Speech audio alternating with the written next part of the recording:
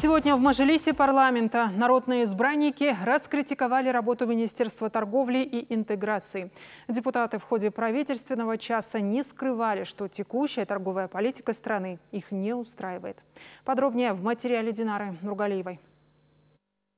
Доллар когда курс доллара растет, поднимаются цены на все продукты. Но когда курс валюты идет на спад, это никак на стоимости продуктов не отражается. Считаю, на это стоит обратить внимание.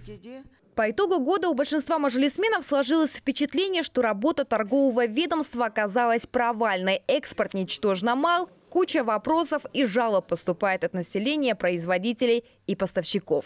Не устраивает народных избранников и ценовая политика. Некоторые мажилисмены предложили и вовсе сократить Министерство торговли и интеграции. Мы сегодня прослушали отчет э, Министерства торговли, но по вопросам э, моих коллег и по выступлениям мы понимаем, что деятельность этого министерства провальна. Я знаю, что э, на Министерство торговли уходит в год более 30 миллиардов тенге.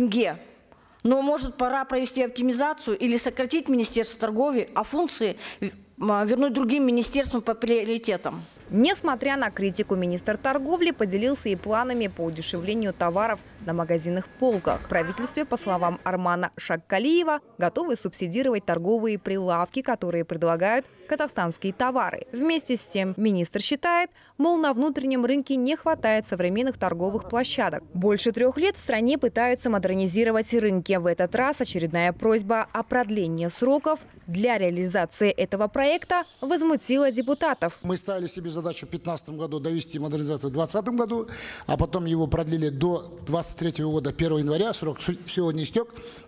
Вы еще хотите, чтобы вам еще продлили на какой-то срок. Вы, а, кроме того, что роняете свою репутацию, вы ставите заложником еще репутацию Мажлиса.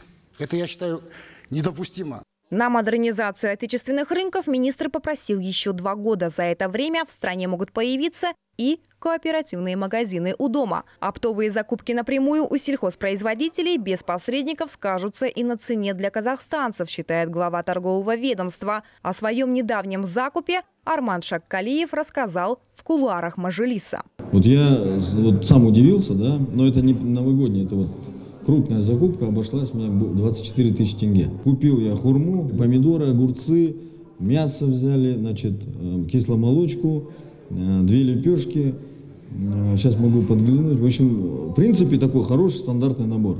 Поэтому все зависит от вашего аппетита, вашего кошелька. Министр также отметил, что стоимость продуктов на новогодний стол будет разниться. Посетив один из столичных рынков, он убедился, что цены на продукты подорожали почти на 10%.